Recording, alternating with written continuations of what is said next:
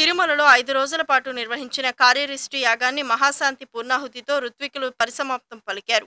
ఐదు రోజుల పాటు ఈ యాగాన్ని శాస్త్రోక్తంగా నిర్వహించారు వేద పండితులు. గణపతి హోమం పర్జన్య శాంతి కార్యరిష్టి చండీ పారాయణం విరాట పర్వ పారాయణం అమృతవర్షిణి గానం వరుణ జపాలను ఐదు రోజుల పాటు వైభవంగా నిర్వహించారు. మహాశాంతి పూర్ణాహుతి కార్యక్రమం అనంతరం కాసాలలో ఉన్న తీర్థాన్ని పాప వినాశనం ఆకాశగంగా కేపీ డ్యాం గోగర్భం డ్యాములతో పాటు తిరుపతిలోని కపిలేశ్వర స్వామి ఆలయంలో ఉన్న జలాశయాలకు సమర్పిస్తారు.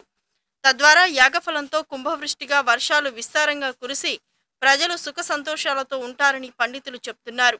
రాష్ట్రంలో నెలకొన్న నీటి ఎద్దడి తిరుమలలో ఎదురవుతున్న నీటి సమస్యల కారణంగా టీటీడీ కంచి కామకోటి పీఠాలు ఈ కార్యక్రమాన్ని సంయుక్తంగా నిర్వహిస్తున్నాయి. దేశమంతా కూడా బ్రహ్మాండంగా వర్షాలు కురవాలి. పాడి పంటలంతా కూడా బాగుండాలి ఆ ఉద్దేశంతో కరీడిష్టి యాగం గత ఐదు రోజుల నుంచి శాస్త్రోక్తంగా నిర్వహించడం జరుగుతూ ఉంది. కంచి కామకోటి పీఠాధిపతి శ్రీ శ్రీ శ్రీ విజేంద్ర సరస్వతి వారి ఆశీస్సులతో ఈ కార్యక్రమం నిర్వహించడం జరిగింది.